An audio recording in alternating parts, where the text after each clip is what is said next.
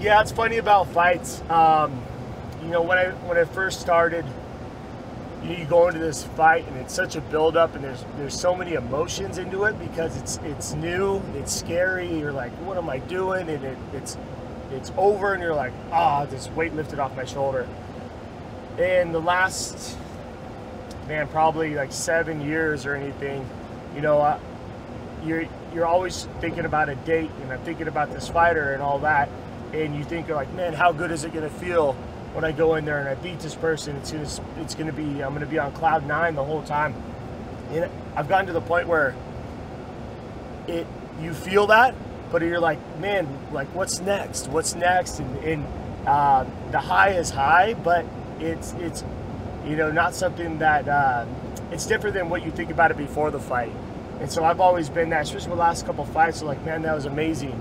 What's next? You know, and, you know, I hate to think about that a lot of times because I want to enjoy that moment. I try to I try to uh, calm myself down and enjoy that moment. But even going out here, you know, I I accepted uh, uh, to jump up to heavyweight and, and fight in a tournament. Uh, made it to the finals, and then literally it couldn't have gone any better. You know, one punch knockout against one of the greatest of all times in Fedor. You know, we were standing across each other, the national anthems were playing, you know, and it was one of those things where like, holy shit, this is happening right now. You know, then to go out there and uh, knock him out with one punch and, and have, you know, a belt around my waist and two over my shoulders, it, there's there's not a moment that really can replicate that, you know, and so that that time, you know, and my wife was able to come in the cage. I'm looking out, my friends and family are cheering. They're there. They're supporting me. I mean, that was definitely, you know, it, it definitely was a top moment of my career. You know, but then I went back in the locker room. I was like, all right, but I was like, all right, what's next? You know, where do you go from there? And uh, um, I've been having that feeling, you know, after this, after, like I said, for these last how many years, where it's like, all right, I enjoy it, but what's next?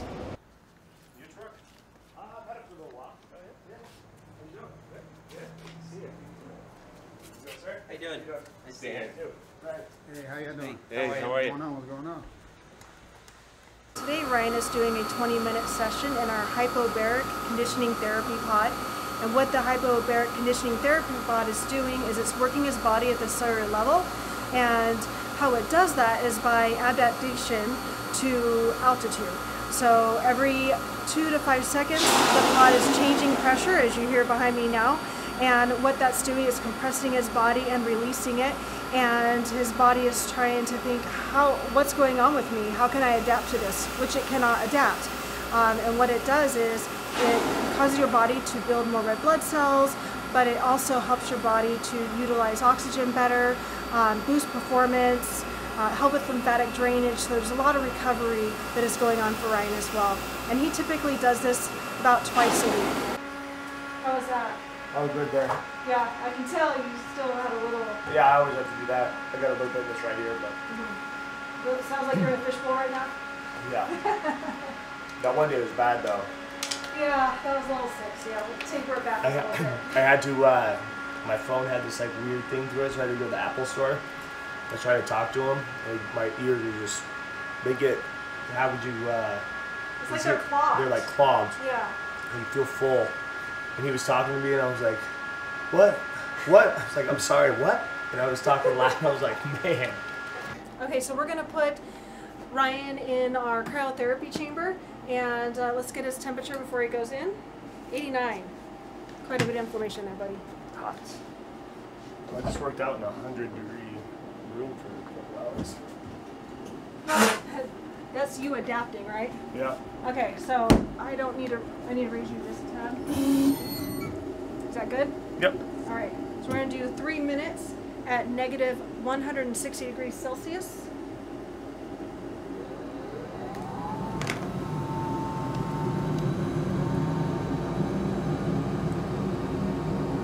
It was right. It was July, right before I fought uh, Ilir Latifi. So I came and did a.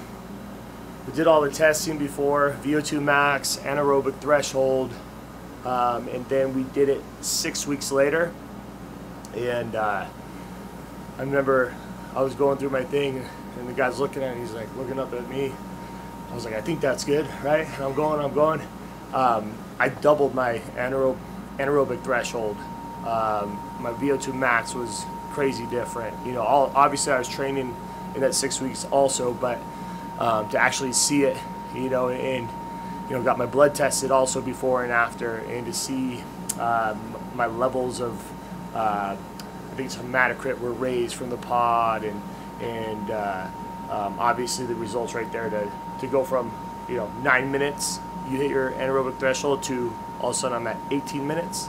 It's it's that's a fight right there. You know that's that's controlling that lactic acid the whole time, and so um, ever since then I've been, I mean the whole time, every fight. Um, I haven't lost the whole time I've been here, so that's a good thing. When I get out of here, you got to shoot from the waist up, though. Like you heard how cold it was in here. Shrinkage. Just a little bit. 48. That's really good. 89 to 48. So what what was that supposed to be when you started? Oh, 89? Well, typically about 86, 87. Um, I try to do it twice. It depends too, because the pod, even though it doesn't look like I'm doing much, it is definitely is taxing. Absolutely. Yeah. It's a workout on the body.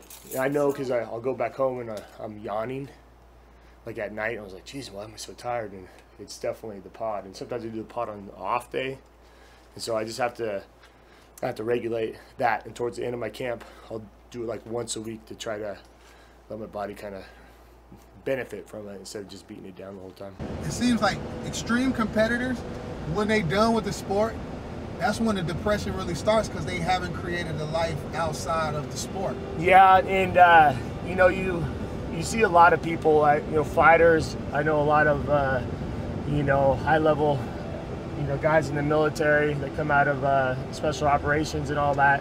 You have this camaraderie, you have this high the whole time, and and you always have something you're working towards, either a fight, um, a mission, you know, and you're doing that with your with your friends. You're you're uh, you're training and getting better, and you're around that your whole life. And I've been around it since I was seven years old, as far as wrestling. And then I got into MMA. You know, I got a job outside of right out of college, and I was like, man, I don't want to. I, I don't ever want to.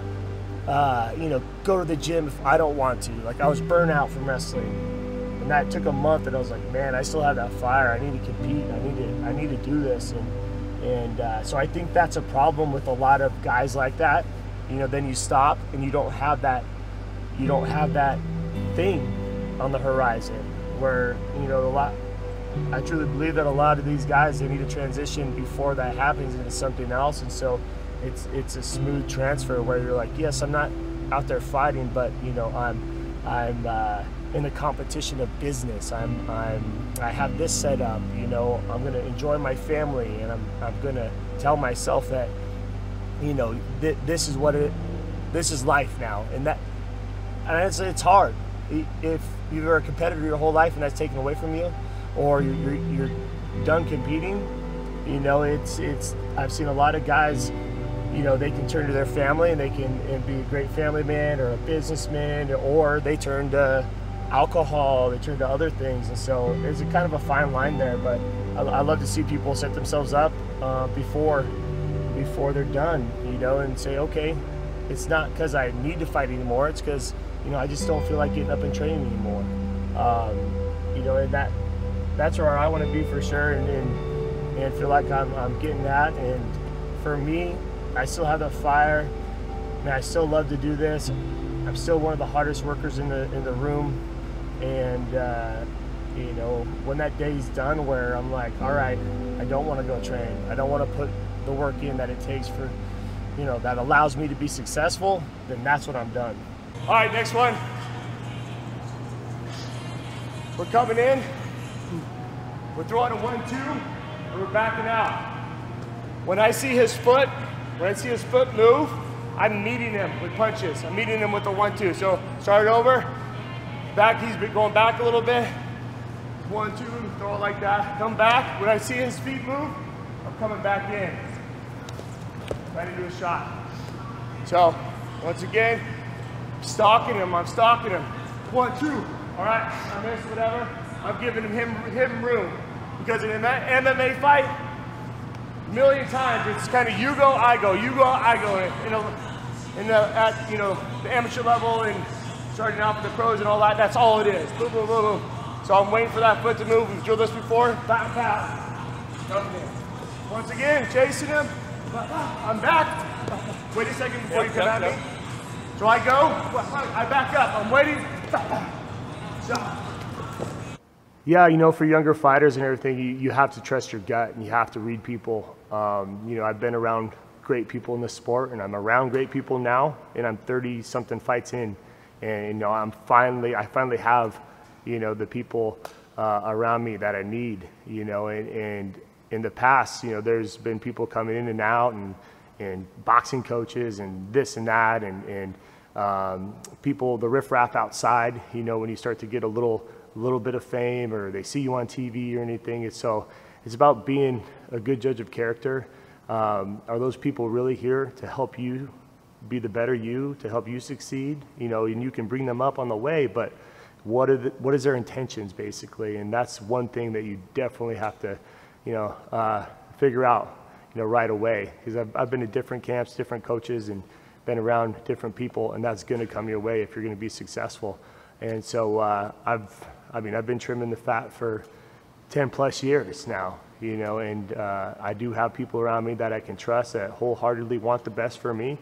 And uh, it's, it's definitely, when that comes together, it's, it's cool to see. This is like 55%.